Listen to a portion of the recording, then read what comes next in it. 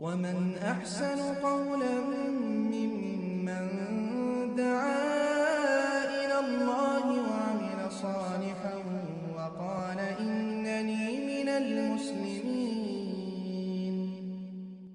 ওয়ালাইকুম আসসালাম রহমতুল্লাহ বারাকাত আমাদের এক ভাই জানতে চেয়েছেন কোরআনের আয়াত সংখ্যা কত এবং এ নিয়ে মতভেদ কেন? আলহামদুলিল্লাহ সালাতু আসসালাম আল্লাহ রসুল্লাহ আবাদ জি কোরআনের আয়াত সংখ্যা কারও কারও মতে ছয় হাজার ছয়শো ছেষট্টি আবার কারও কারও মতে ছয় হাজার দুশো ছত্রিশটি।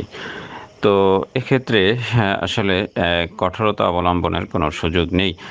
কোরআনের আয়াত সংখ্যা ছয় হাজার এই ক্ষেত্রে মোটামুটি মুফাসসিরিনগণ বা আহলে কোরআন বা যারা কোরআনের জ্ঞানী জ্ঞানী বিশা কোরআন বিশারদ যারা রয়েছেন তারা ছয় হাজার আয়াত সেক্ষেত্রে একমত পোষণ করেছেন। কিন্তু ছয় হাজারের উপরে যে আয়াত সংখ্যা, সেক্ষেত্রে তারা দ্বিমত পোষণ করেছেন। এবং এক্ষেত্রে কারণ হচ্ছে কোরআনের আয়াতগুলোর মধ্যে যে ওয়াকফ রয়েছে বা এক আয়াতের শেষ, অন্য আয়াতের শুরু, এই জায়গায় তাদের দ্বিমত পোষণ।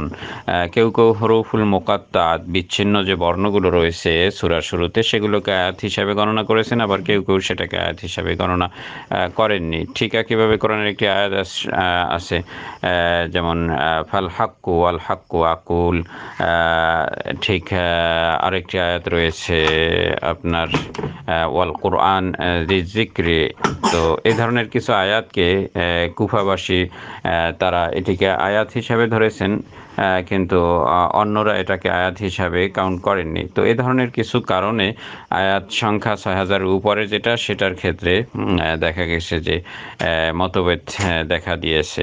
অতএব কোরআনের আয়াত সংখ্যা নিয়ে আমরা বাড়াবাড়ি করব না।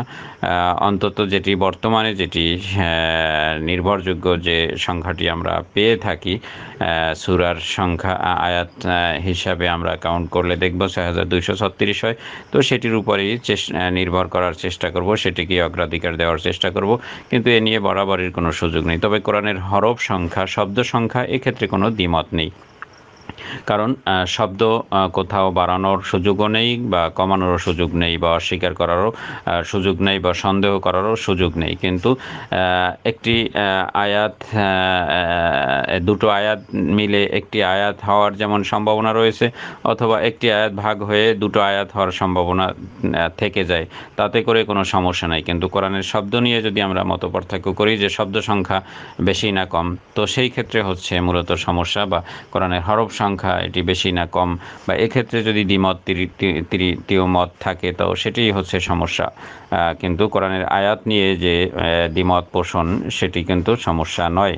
কারণ এখানে দ্বিমত পোষণের মানে এই নয়, কোরআনের কোনো আয়াতকে অস্বীকার করা হয়েছে বা বাদ দেওয়া হয়েছে। অর্থাৎ কেউ যদি ছয় হাজার ছয়শো ছেষট্টির জায়গায় ছয় হাজার দুশো ছত্রিশ আয়াতের কথা বলেন, এ কথার মানে এই নয় যে বাকি তিনি প্রায় তিনশো, তিন শতাধিক আয়াত তিনি বাদ দিয়েছেন। না বরং কোরআনের আয়াতগুলোর যে অক্ফ সেই অক্ফের জায়গায় তিনি ভিন্ন মত পোষণ করেছেন।